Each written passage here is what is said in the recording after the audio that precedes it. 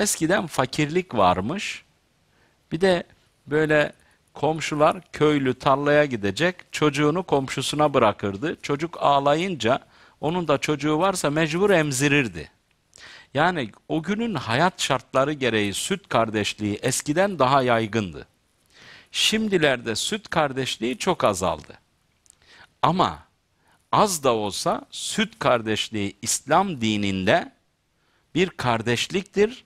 Mirasın dışında kardeşliğin hepsi tahakkuk eder. Yani nikah mesela.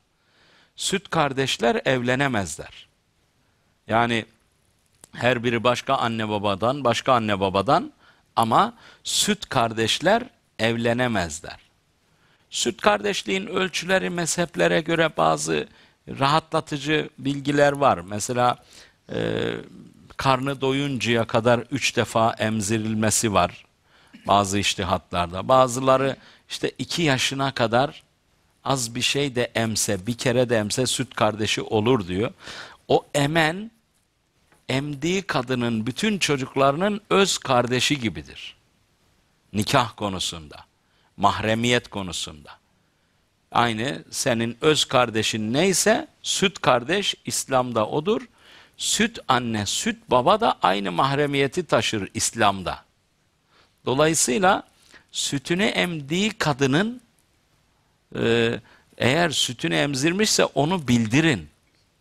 Yani birinin çocuğunu emzirirsek o unutulmasın. İleride çocuklar belli olmaz. Bir yerde rastlar, üniversitede rastlar, birbirinden hoşlanır, evlenir. Allah korusun kardeş kardeşe evlenmiş olur. Süt kardeşliği çok veballi bir şey o konuyla ilgili. Onu söylemiş olayım. Süt kardeşinizi de bildirin. Mesela bunu söyleyin. Falan benim süt kardeşim deyin. Duydunuzsa eğer o toplumda duyulsun yani. Ki hem bir kardeşlik yakınlığı olur, akrabalık hissi uyanır. Ne kadar insanlar birbirine sağlıklı, böyle sağlam sahip çıkarsa o kadar iyidir.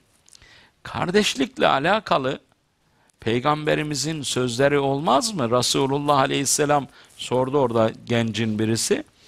El müslümü ehul müslim la yazlimuhu ve la yuslim buyuruyor peygamberimiz. Müslüman Müslümanın kardeşidir. Ona asla zulmetmez ve onu bir zalimin eline asla teslim etmez.